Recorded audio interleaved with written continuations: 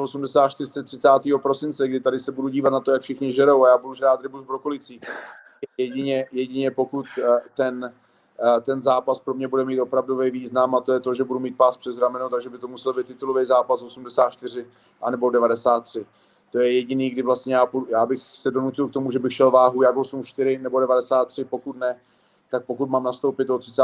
prosince, aby to musel být catchweight. Která se špatně. Takže, tak uh, já tě trošku přinaseru, jo. Uh, takže 93 o titul s Peštou bys šel 30. Uh, od titul s Peštou uh, bych nešel, protože who the fuck is that guy?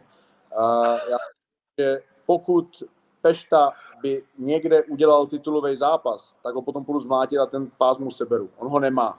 Takže jako titulový vyzývatel mě absolutně nezajímá. Já jsem pro vás nějaký zápas v 93. udělal, on ještě neudělal ani jeden. A jestliže dáš titulový zápas uh, někomu, kdo ještě neměl v 93. ani jeden zápas, tak sorry, za mě to je špatně. Uh, jestli by si ho nedám, za... nedám, já vím, no. By si ho někdo zasloužil víc, tak tam byl nějaký Popek, který teďka v Brně udělal skvělý uh, skvělej, uh, zápas. Ten frajer by si třeba zasloužil titulový zápas. Uh, frajer, který by si opravdu zasloužil titulový zápas, je Attila Vek, který ho zápas No vidíš, sotva řekne Haty a tě to vypne. A, dobrý. Jo, uh, vlastně Attila Vek, ten by si zasloužil titulový, uh, titulový